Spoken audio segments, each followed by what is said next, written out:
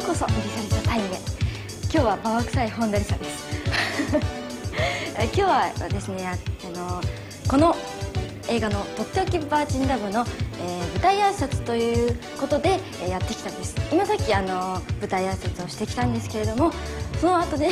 今私はこうやって言います。はい。で、えー、この「とっておきバージンラブ童貞物語パート3」っていうのは、えー、私の初めての、えー、主演映画ということなんで結構力入ってるんですけれども、えー、この、えー、内藤園子っていう園子ちゃんっていう高校2年生の、えー、お嬢様お嬢様の役をやってるんですけどね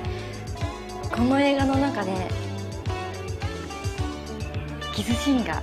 あったんですよ。結構あの雑誌とかにも結構、えー、載ってるんですけどね。これがあの渋谷のスクランブル交差点ですか？か？か？そこでですねあの人が人混みの中あの中でスクランブル交差点のど真ん中で皆さん直樹君と私がキスシーンをしてしまうんですよね。それでたまたまですね私の友達のお姉さんが見てしまってなんか結構ちょっと恥ずかしいものがあったんですけどね。それも結構あのー、いやーとか思うんですけど実際やってる方に関してはあのとっても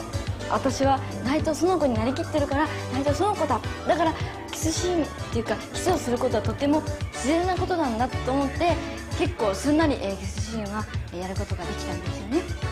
ということでえ今回の「リサリサタイムは」ちょっと古臭いあのおばさんヘアでどうも申し訳ございませんけど